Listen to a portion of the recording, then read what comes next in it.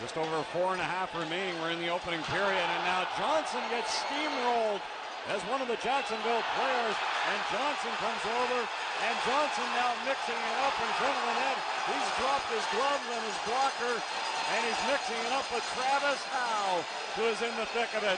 Now the goaltender Broussard comes past the center red line. Will the goaltenders drop the mitts?